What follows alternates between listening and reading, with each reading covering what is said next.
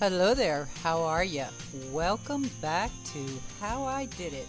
Today's episode, we are going to bring the main power wire, main power service wire, into our power pedestal. How's that for a tongue twister? Alrighty then, y'all remember when I dug this three foot hole? Technically it was 40 inches. Well, started filling up with water because our water table here in Florida is uh, pretty high. So here I'm just getting myself into the box after closing it up once I got it set on the power pedestal itself. Get everything cleared out of the way and try to keep from having anything fall into this hole now, right now it's approximately 7 o'clock in the morning. The sun's just starting to peek up over the trees there as you noticed. It is already hot, hot, hot. Heat index today is supposed to get up to 107. Yeah, I'm not much looking forward to it at all. So I'm going to try to get this thing knocked out before the true heat of the day sets in. Step number two, setting up my OSHA approved work platform. Just kidding. But this tractor, oh my goodness, it has been a godsend having it, especially trying to work over this hole, doing the splits, doing different tasks that the tractor was not in its place.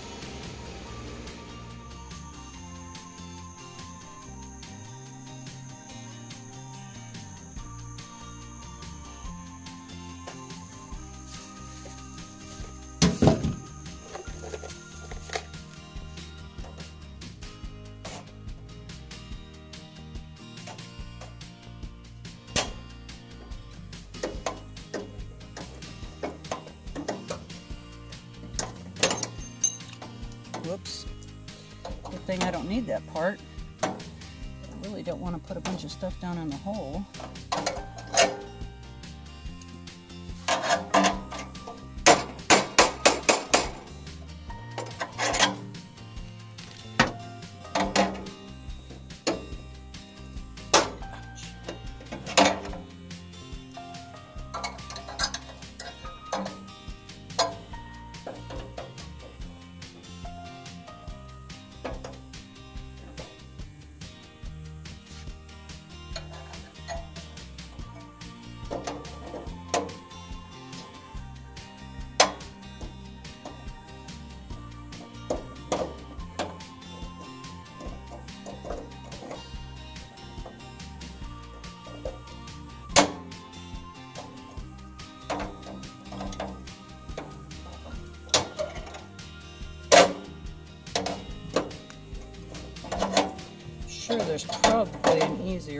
Do this nonsense.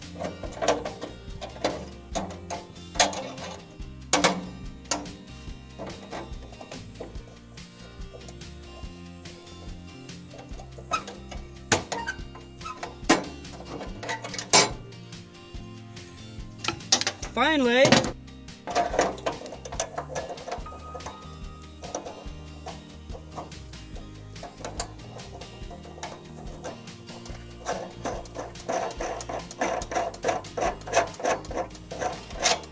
like this. I'm just temporarily putting this on to show you. I'm to pre-assemble everything and then just glue it and stick it in there, especially with all that water being down in the hole. And then they require this, it's called um, insulating bushing. Here it's rounded over, keeps the wire from possibly getting chafed by the rough edges and that goes on top. So the power is going to come in down there through 2 inch PVC. It'll run up. I'll glue it into the bottom. It's going to come in right here and go up through this chafe or channel, chase, whatever. 120, 120, that'll give you your 240 service. The neutral will come down over here and tie in and then the ground will go there.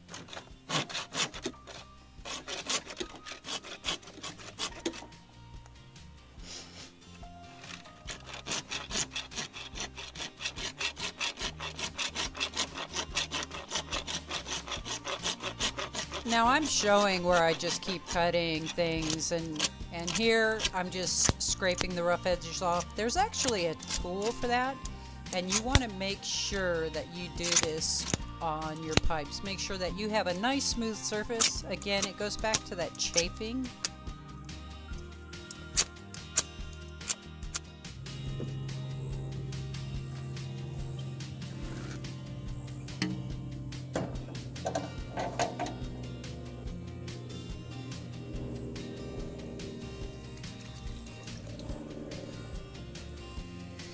that will work great. Pre-assembling this. Now there was a little bit of a learning curve figuring out how to get this 90 degree elbow to slide down and it wasn't the usual real long wide sweeping elbow so it took a little bit of finesse but it worked and getting the sheathing off of this wire was pretty cool. All I had to do was hold the blade on the edge of the, the outside of it and then pull up on the insulation and it cut it right off. It was fantastic. Now I kind of made a pretty big mistake here. It created a quite a bit more work for me in the long run. I ended up moving that elbow too far down on the wire, but I did finally learn how to get that elbow to move, like easily get it to move. And so you'll be able to see that technique coming up. So should you get yourself kind of into the same pickle that I've gotten myself into with this, um, it'll make it a little bit easier for you.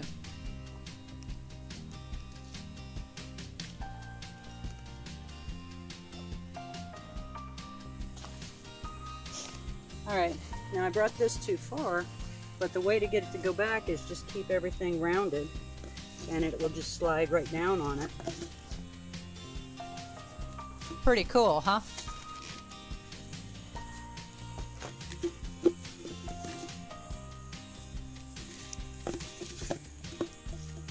And then obviously once you get here, you'll have to somewhat straighten it out.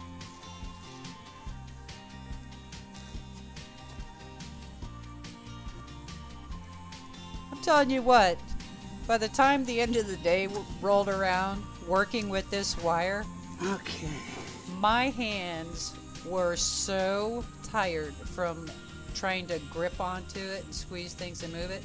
I'm still doing the physical therapy for my broken right hand. this was definite therapy, but at least I got it together and it worked out pretty good overall. Now make sure you get it seated all the way down in there. There we go.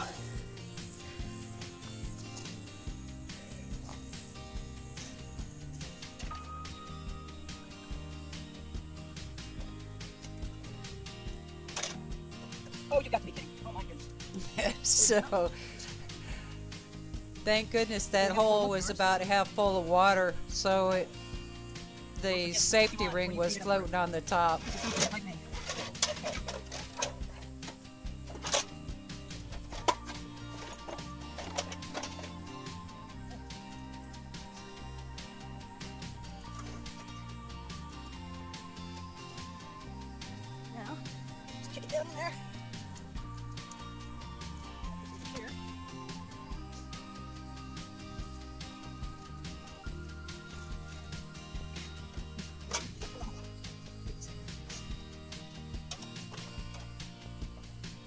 Yeah, this was one of those times when I wished I could have had the OSHA approved safety platform to stand on. But in order to get that all to fit down into that trench that I had dug, it had to be moved out of the way.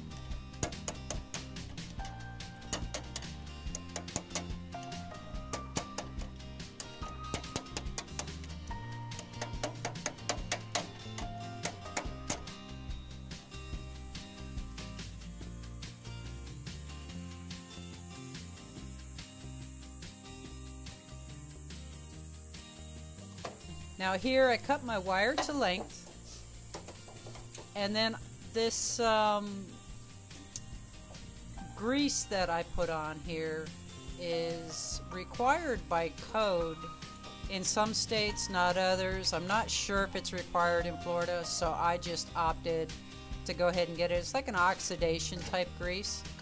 It just helps with aluminum wires. Now you have to remember also, your main wires that service your neighborhood overhead, those are all aluminum wires.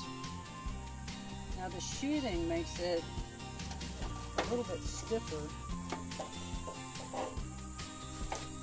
Granted, you have copper all through your house, it's a better conductor and all that, but for this wi larger wire gauge, for the expense that it would cost to go purchase copper, I went ahead and just again opted for the aluminum.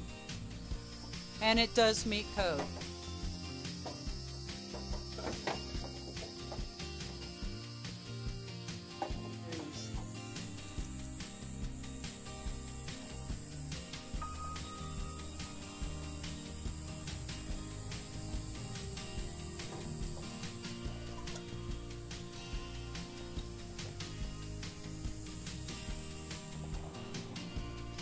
Now, something that an old electrician taught me several years ago, actually, many, many years ago.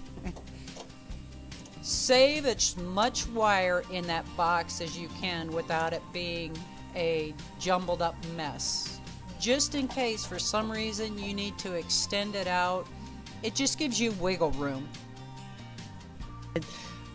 The ground wire is connected by the screwdriver but the neutral is this Allen and I'm going to have to go get the Allen key. So what I'm going to do is go ahead set my two 110s on this and then go get my Allen um, wrench and we'll get this tightened down in and then go on. So here I'm just coming back, I'm finishing up. The red and the black are your 110, your positives, and they just hook in. That's where your meter's to go. Now, this is where I opted to stop for the day. At this point, believe it or not, it's like 12:30 in the afternoon. The thermometer was saying that it was 100 degrees. I was hot, I was tired, my hands were super fatigued. So I went ahead and decided to just close everything up. Alrighty then, that's it for this week. I'll see y'all next week with the installation of the RV box and a 110 GFCI outlet. Thanks for stopping by. Y'all have a blessed day.